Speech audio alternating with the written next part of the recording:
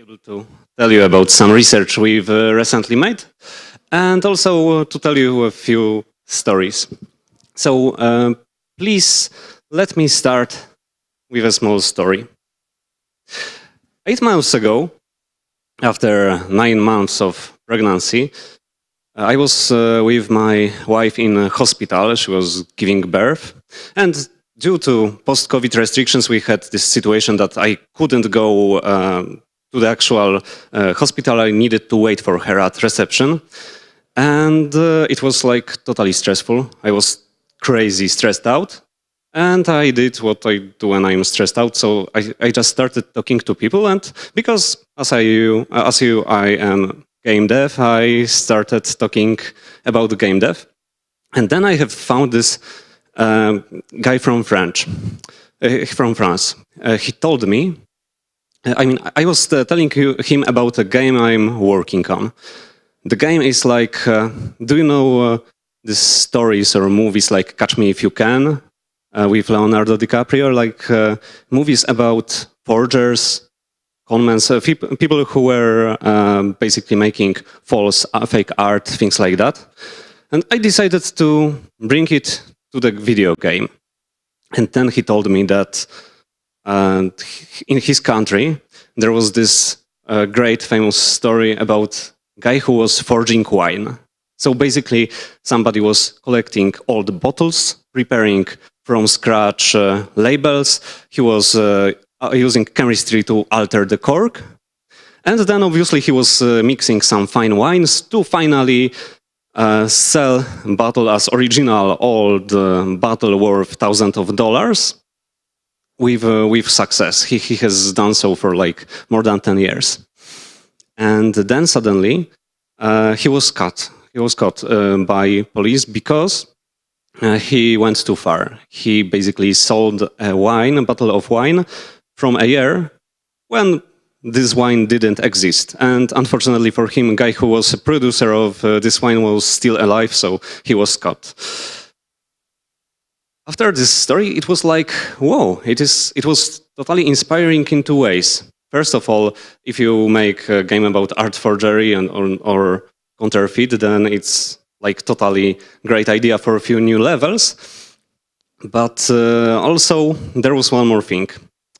But um, it's like it is hard to distinguish between something that is original and something that is fake. Even if uh, somebody is a professional critic, then if we have uh, something that somebody has created, basically it's uh, it's hard task, especially if you are a wine taster. When basically, if somebody would try wine costing like thousands of dollars and and tell like it's it like uh, tastes like shit. It, I don't want to drink it. It will be like disaster for his career. So you can clearly imagine that that is hard. And in video games, we have quite often such uh, such situation when we need when we have something that user has created, and we need to evaluate it. By the way, I have done research if it was the only case of uh, wine forgery. And no, it's, it's like totally common. And this wine is uh, exceptional. Chateau Lafleur, uh, 1937. It was wine during like last 30 years. They have uh, sold like 29 bottles of this wine of on auctions. Everyone, uh, each one like $10,000. $10, but in this actual year, only five bottles were, were really produced. So like 80% of it is like totally uh, fake. So let me uh, introduce myself finally. I'm Chris Krej. I'm uh, CEO of Frozen District and I'm a game developer. Programmer, a little bit designer, a little bit CEO. And uh, our biggest product is obviously House Flipper, uh, right now we are presenting House Flipper 2, which you can uh, play in, in the booth. Uh, house Flipper is a house renovation game where you basically buy a ruined house, you enter it and try to renovate it, like to, to smash walls, to paint walls, to remove, remove trash. And after that, uh, you finally can sell it.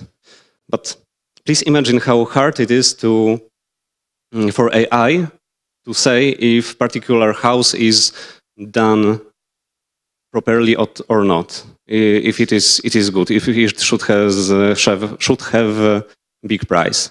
Please imagine if you have like perfect uh, kitchen and then some, somebody, uh, player decides uh, putting toilet in the center of it. It's really hard to find a way how to how AI should correctly uh, evaluate something like that.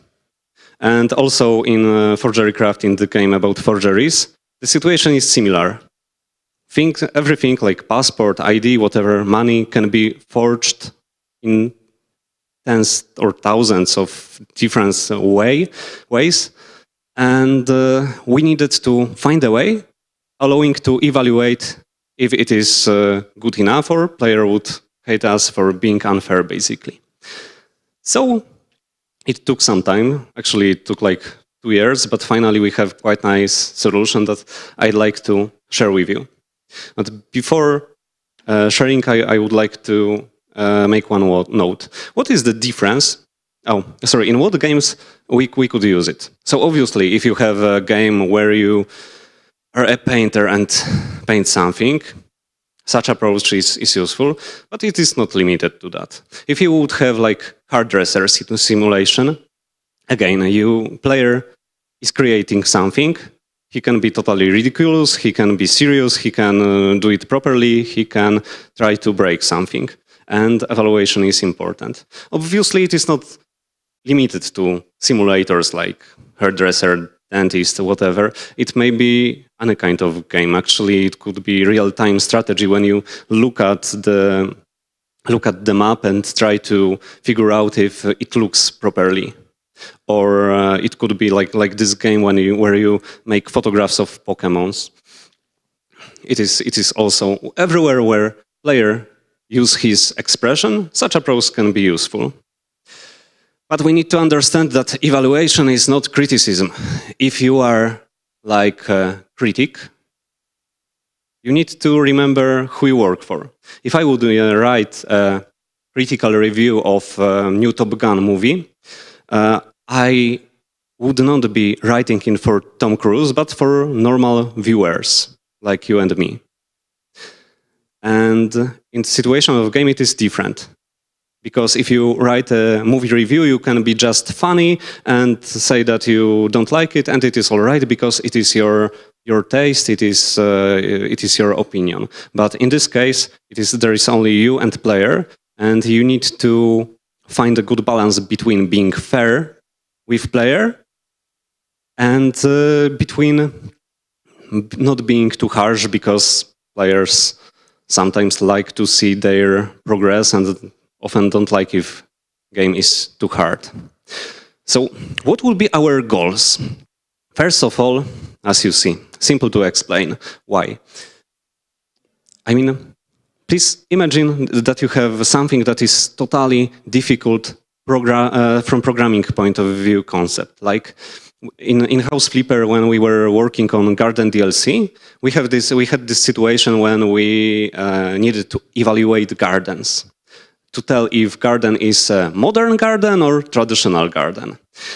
Garden is modern garden if it has lots of geometric shapes. So if you would look from top-down perspective on map, and there are lots of circles, triangles, then it is probably modern garden. And uh, implementing it was a nightmare because from a mathematical point of view, finding spheres finding circles on map uh, or looking at points, it's, it's just complicated. But we could do that because it is very easy to explain for the user. Why so many users like mechanics like um, rock, paper, scissors? Because if they find out how it works, if they believe they understand it, then they feel clever. And who doesn't like being clever? Second thing is that our game needs to be fair. What doesn't mean? It's, it's hard to describe, but it's easy to give an example. I suppose that most of you have been playing uh, Beat Saber at least once in your life. Who, who knows Beat Saber? Hands up, please.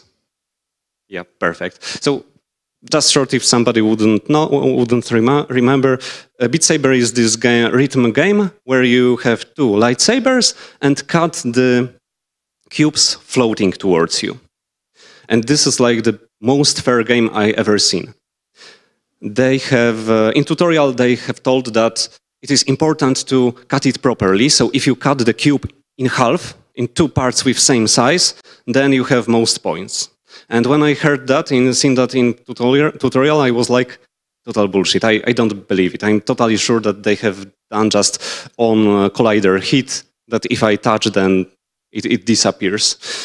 But so, so I have done something bad and illegal. I just decompiled the code and checked uh, what is inside. Sorry, but uh, it was like like the perfect code, like like like blessing. Basically, it was uh, I learned a lot looking at it. It, was like totally crazy mathematical stuff. Like they really have calculated that if you use this angle, then this is cutting surface. And now let's divide the shape of cube using this surface, which is totally hard from mathematical point of view because it's not like one cube, it's like lots of triangles making this cube. And if you divide it to two shapes, then it is even more complicated. And then if you need to calculate the um, area, not area, the, the, the, the volume of, uh, both shapes, it's like, uh, it's nightmare. But they have done it, and they have done it well, and uh, basically player had the game they deserved. They have promised player that th this is these are the rules, and uh, they were fair with players. Third thing is that it is really important for, for a game to be easy to test. Because uh, if, uh, if we have a game when, where player needs to be creative, usually, usually this creativity takes time. So testing such thing, usually it's like player is designing, preparing something for 10 minutes, 20 minutes, maybe hour, and then you can test it. And uh, as a developer, if a game is not prepared to be really easy to test, it's like you do something for, for hour, look at result, result is wrong, AI done that, uh, tells that you have done something totally different than, than you see, and then uh, you go to your development team, somebody for development team changes one, one digit somewhere in code and tells you, oh, I, I think right now is, it's fixed please, please test it.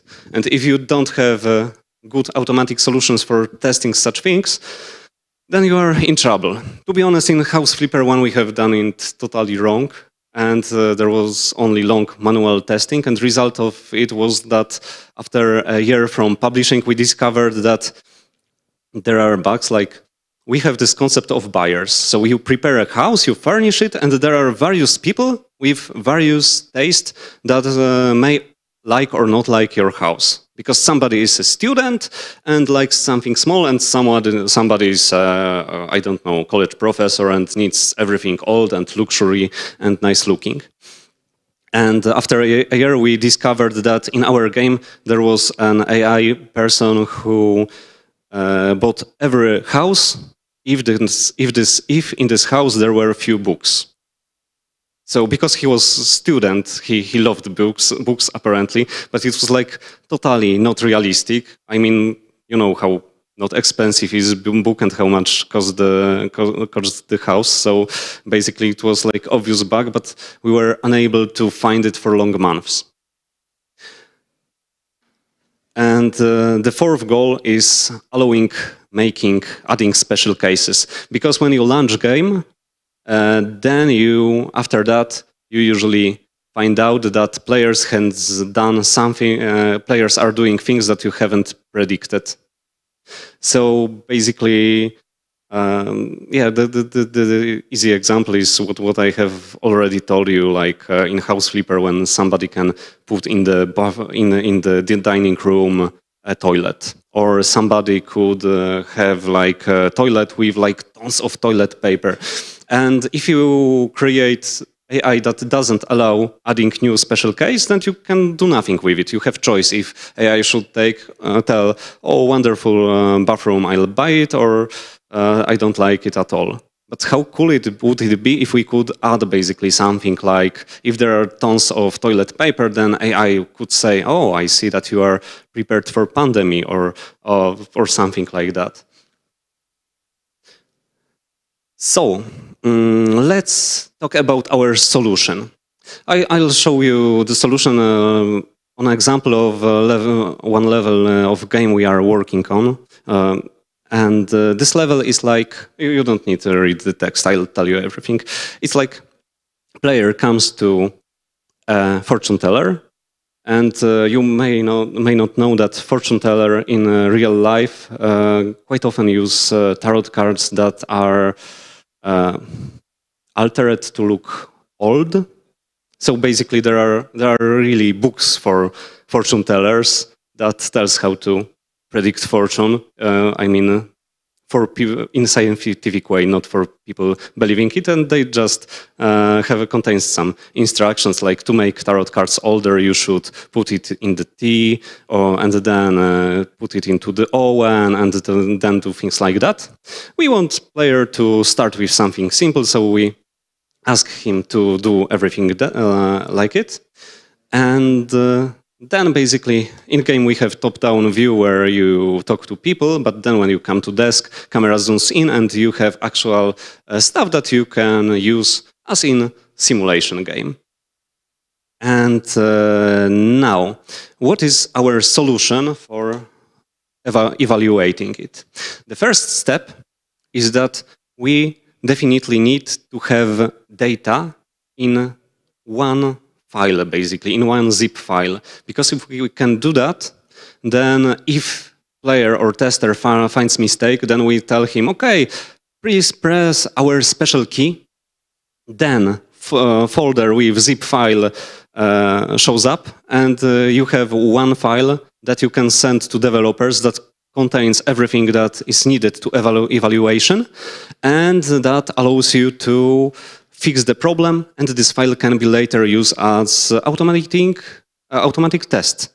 So uh, you are sure that you will not uh, make uh, regression. Uh, obviously, I would like to avoid in such file like lots of numbers. I personally love images. So what we do in uh, this case, we basically have um, few images showing color-coded where, I mean, blue means where the card is wet, green when is, it is burned too much, um, what is the third color? Red. Red shows scratches that player made, uh, makes with nail buffer or, or, something. And then if something is wrong, we have one file that we can check. Uh, that we this, this, one, this one file, this image in this case actually contains everything that we really use in evaluation.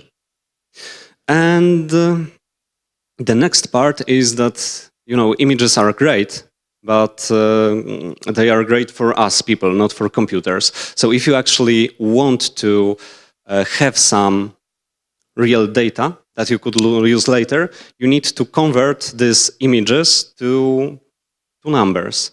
And using code, using programming is like the worst solution for that. The, we found something way better, which is using shaders.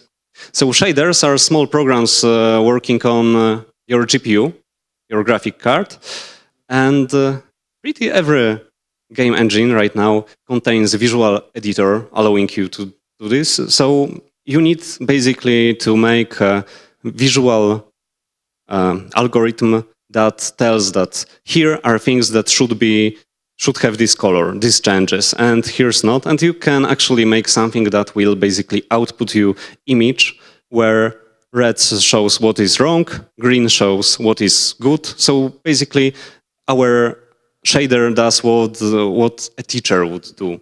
He, in one color, mark everything that is correct, in another color, mark everything that is incorrect.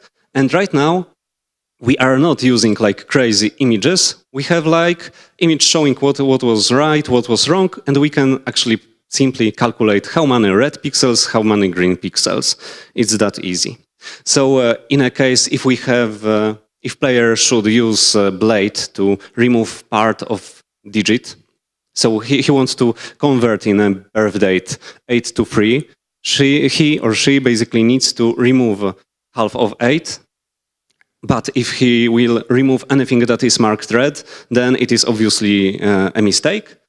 But if he uh, removes something that is uh, that is not green or red, so is blue, uh, is black, has has no color, then uh, basically game ignore it because player can scratch a little bit card. I mean, game calculate changes on black pixels, and the player would need to make like lots of them to fail the game. So we have like visual data. We know how to transform them to numbers after preprocessing. And now with numbers, could we actually make real code right now, use these numbers? Yes, we could, but it is not a good solution, not a good solution. We tried it for one year and it was like total failure. Uh, because if you need uh, to have lots of numbers if your code it's bad from programming point of view. And if you decide, decide to make, uh, not have magic numbers and make lots of variables, then it is not so ugly, but it is too complicated for more, most of us. So we figured out something really simple. Let's make here another step, another layer that is responsible for, from balance. So for every number, we have something that we call the grader, which basically change a number using some, uh, some balance that, uh, that developer created first to a grade that can be basically not enough, not enough but may pass, perfect, slightly too much but may pass, and too much.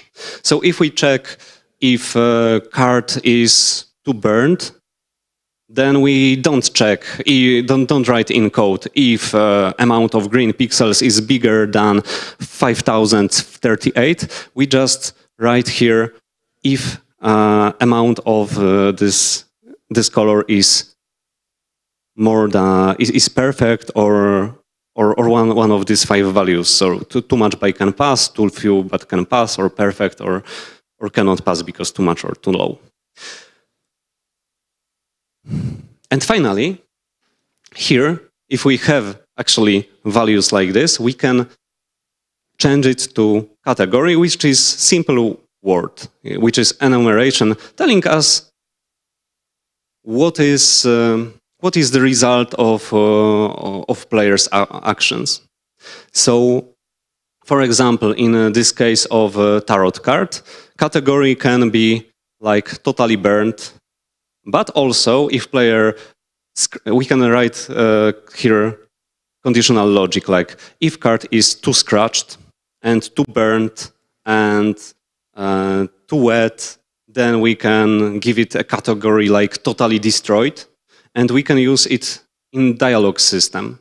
So if a player done something slightly wrong, he will have dialogue like, oh, hmm, it may pass, but oh, sorry, I don't accept. Or, may, or even he can use dialogue clever, in clever way to pass even if it is not good enough.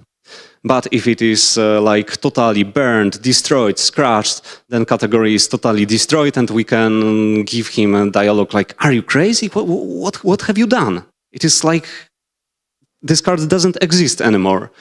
So it is like our solution.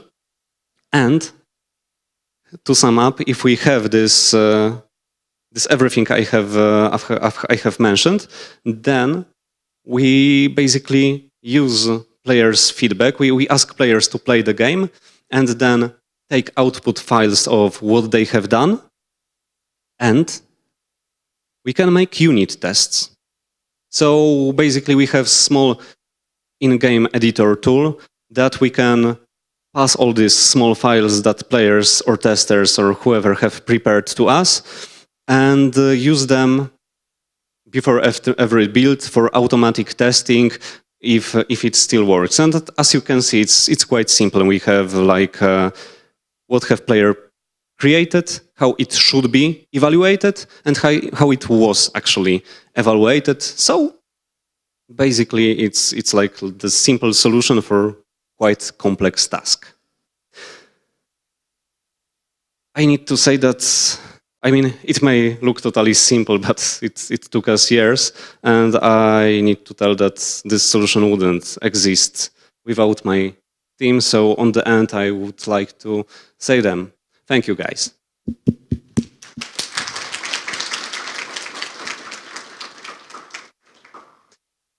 If anyone would have any questions, I'm here for you. Yep. Yeah, I can give you mine. I don't need it anymore.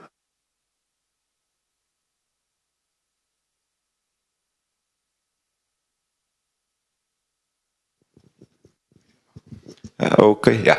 Uh, hi. So I didn't get one thing. Uh, like, uh, so basically, you like uh, calculate the amount of good and bad pixels, right, uh, on an image, and then you said that instead of doing like this condition, if the amount of good pixels is greater than than something, you did mm -hmm. this like grader thing, but yep. how exactly does, does the grader work? Like how does it uh, like translate the amount of good pixels into mm -hmm. the category? Doesn't it like essentially work in a way that if the okay. amount of good pixels is greater than then give the category of like the good enough or something? Uh, I need to ask you a question. Are you a programmer or a designer? Programmer. Fantastic. So, uh, so we will understand what, what I. Uh, so basically, we wanted to have something that is like congruent. So we have made like class uh, that, that is grader and it contains encapsulated like five magic numbers telling us how many how much it is totally too much, how much it is like you know, this, this five, five values I have uh, mentioned. So if you have uh, five grades, then you have one, two, three, four, actually, sorry, four numbers telling you, telling you what is the balance.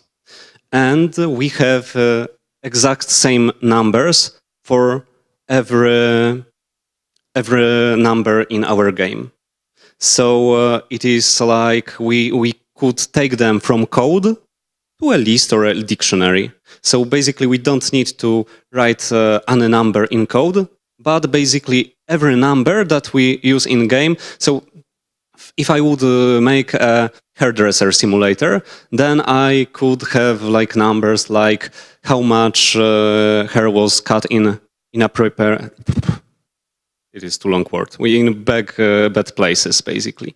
Uh, it could be one number. Another number, if uh, if color was changed in different way the, that that somebody was asking, and I could have like 20 such numbers, and then instead of putting for for 20 numbers, I would need to have like 20 graders, so four times no more magic numbers in code. But instead of that, instead of putting it in code, I can say in code that every number has its grader, and there is a list of graders uh, visible in inspector Unity, in, for example, and I ask uh, he, that guy to fill the numbers, and uh, you know, and then it works. And uh, how exactly like do you calculate the, the, the, numbers themselves? Like you do it like kind of by hand, or you kind yeah, of uh, kind of uh, decide on some like percentage, or the easiest way is to prepare like lots of uh, automated uh, automatic tests that will fail on start, like everything. So you make made like 20 tests. So we just uh, we accept on beginning that our grading system doesn't work, but we play the game and prepare like like 20 various tests and say that yeah this should pass this should not pass this should has that category this should has this category and this is totally crazy. So let's give him a category totally crazy.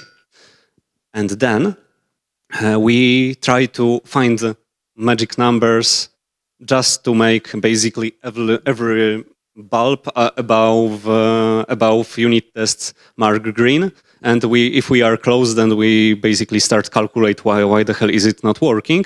But usually it's like uh, yeah the, the, more you test the, the easy is to basically guess correct numbers. Okay thank you. I'm glad you asked. Do anybody else have such a good question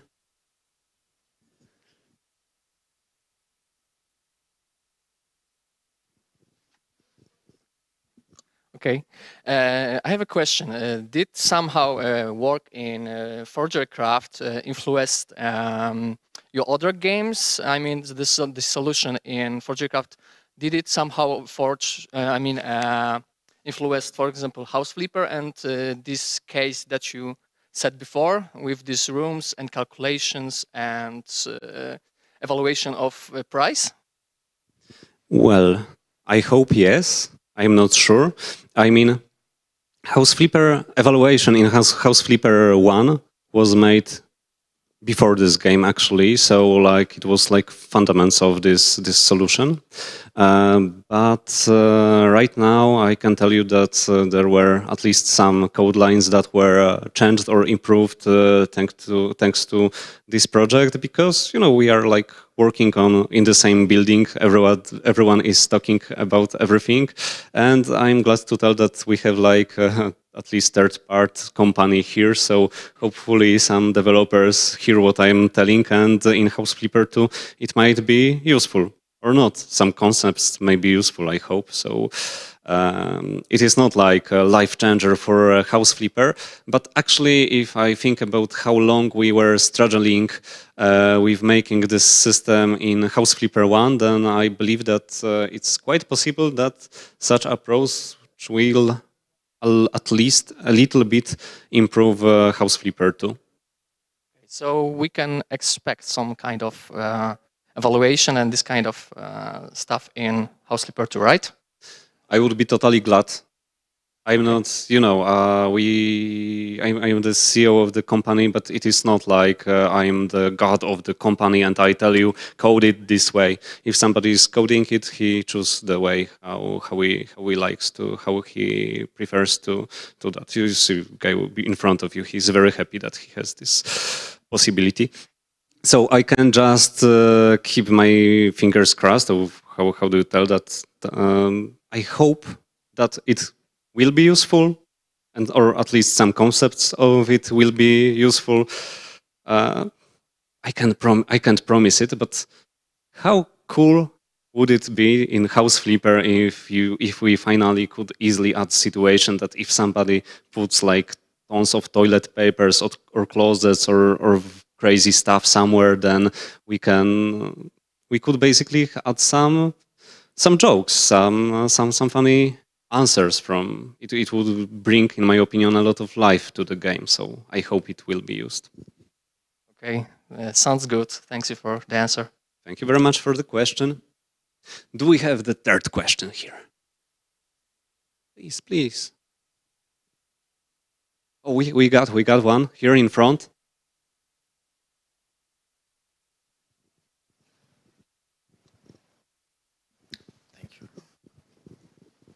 Um, so, um, as a designer, like at what point there are just too many numbers to check to like see if something is counterfeit, counterfeit or not? Hmm. As a designer, you mean how many numbers do we use? Yeah. Or yeah, because I I, I just mm -hmm. suppose like there are like forty different numbers that you check, and it's just overwhelming for the human brain just to balance everything out. Yeah, it would be totally uh, overwhelming if these things would be uh, connected with each other. But actually, if uh, you have a situation like player can do lots of crazy things and uh, there are not connected. So let's imagine that I would like to um, counterfeit the uh, the banknote, the ten, ten dollars banknote, for example, bill.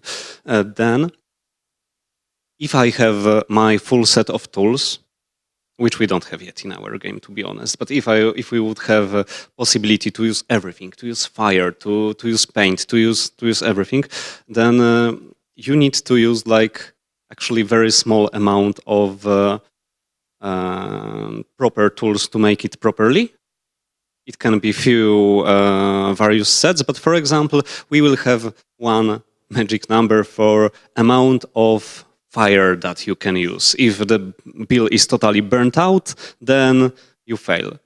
another magic number for amount of paint that somebody has used or, or color or actually in these cases we we didn't have like like really lots of uh, uh, these cases these three levels are quite simple. So we were using like uh,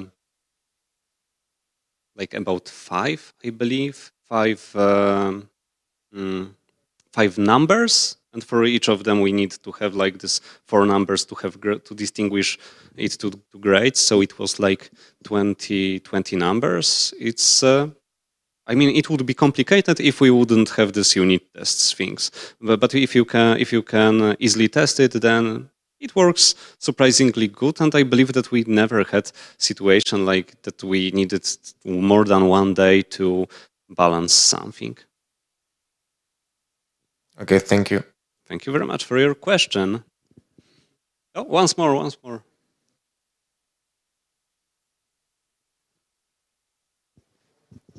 Um, when you showed the maps of uh, the work done by the player was either good or bad, then mentioned um, the map, the, the, one with the black screen and red text, I think is perfect. This one too, uh, and it showed which areas you want players to modify and and uh, which not.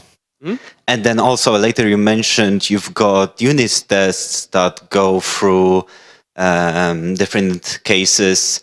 Uh, this one should be bad, this one should be good, and you adjust your system mm -hmm. to mm-hmm. that. Uh, have you thought about using artificial intelligence for that? Because it very much reminds me of this, uh, like the probabilistic maps. Um, and uh, loads of cases that we know this should be good. So the AI could treat this as an example of a good one, and so he could create those maps uh, for the system and, and use it later on. Okay, so once more, what what exactly was the question? The question is, have you thought of using AI, artificial intelligence? Mm. You know what, I I totally see your point, but uh, I am like I'm I don't feel secure if I use AI too much. I mean, I have uh, worked a lot with uh, things like neural networks. I, I, was studying informatics in uh, medicine, so we were like uh, the, the best possible, this was the best possible way to place to learn neural networks and things like that. And I know that they are totally awesome when they work. But if they don't work, then it is AI. You don't. It's like right now you have like uh, all this great um, image generation AIs. So you you, you probably has have have used at least uh, Midjourney or something, and it is totally great. These images are perfect when they work. But sometimes you write something and you have uh, like total bullshit, something that you cannot use for anything. So um, I believe that for some crazy reason in video games, people tend to use very simple AI. In most cases, it's more like uh, mm, more like uh, state machines than anything else. And I was actually actively looking for examples of uh, using more modern AI, and I totally failed failed. I know that neural networks was were used by uh, Peter Molyneux in Black and White, and this is, this is like the only case of game when, where it is it was used in a popular game I, have ever found. So uh, I believe that uh, if for somebody it would be his primary tool, then such such a solution could be great. But for me, I like things to be as simple as possible but there is an exception, because I, I, I mentioned that uh, on beginning, I, I mentioned that uh, everything should be simple to explain, but it is not, uh, it's, it is not meant to be simple to explain how code looks like. It should be the requirements, the, the way of uh, what is good, what is bad, should be easy to e explain. So I actually had situations when uh, in, a, in my game dev career when I had a simple problem that looked as a mathematical problem. So I went to mathematical analyst and he gives me equation for like three pages of texts. So it, it was like totally crazy. I didn't understood anything. But then I've uh, used it in code and I just looked and suddenly it works. So uh, basically, if you have proper tests and can prove that something works, then using AI or complicated mathematical equations can be totally great for you. But please remember uh, about text and please be prepared that if such, such a complicated thing doesn't work, then you need to just throw it out and uh, look for something different. Okay, thank you. That, uh, that answers, I think. Thank you very much. Was it our last question or do we have one more person? Five seconds. Okay, thank you.